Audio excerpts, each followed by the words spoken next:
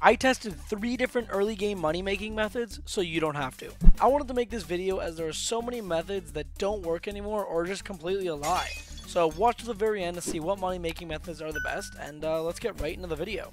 For our first money making method, we're going to be mining end nodes. Now, all you need for this is a diamond pickaxe, an aspect of the end if you want, and also young dragon armor.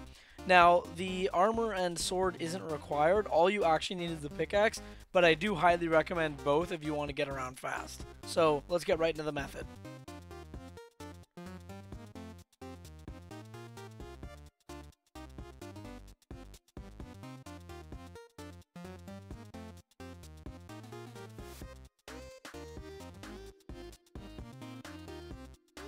So after about 15 minutes, this is what we were able to collect. Let's go sell it all and see how much this method makes. After selling everything, we made almost 1.2 million. So if we had a better setup like faster armor or an aspect of the dragon to kill the mites quicker, we could probably make upwards of 6 million an hour. So let's move on to the next method. For our second method, we are going to be grinding out the ice walkers in the dwarven mines. Now all you need for this one is young dragon, again not needed but recommended, a aspect of the end, same thing, and a sword that can at least do 800 damage. Now, let's get right into the grinding.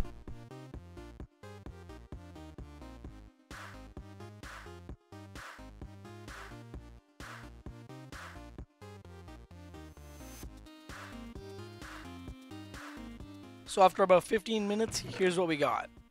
Pretty good load. Again, could be better if we had better armor and gear, but Let's just see how much this all sells for. After selling all the goods, we made about 1.6 million. This is actually pretty good, but the only problem is it's a very luck dependent grinding method.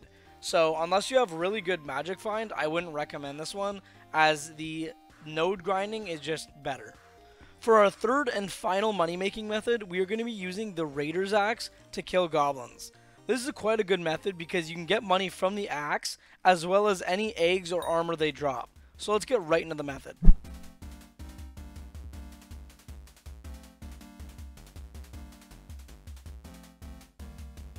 After that method, we gained about 205,000 just from the axe and all of this gear. So I'm going to go sell it and we'll see how much we made.